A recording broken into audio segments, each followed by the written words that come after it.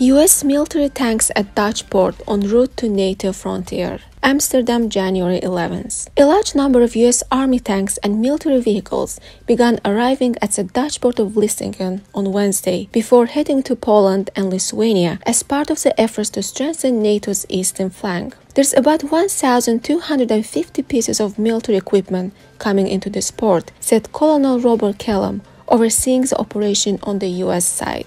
The equipment includes M1 Abrams tanks and Bradley fighting vehicles from the 2nd Brigade Combat Team, 1st Cavalry Division of Fort Hood, Texas. Dutch armed forces are helping with marine security and guarding the port area where the vehicles will be housed before they continue east. Following Russia's invasion of Ukraine in February 2022, NATO has been strengthening its battle groups in states from the Baltic Sea in the north to the Black Sea in the south.